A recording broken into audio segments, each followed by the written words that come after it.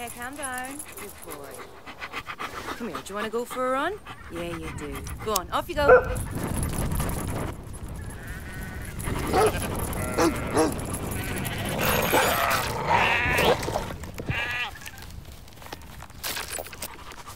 Where have you been?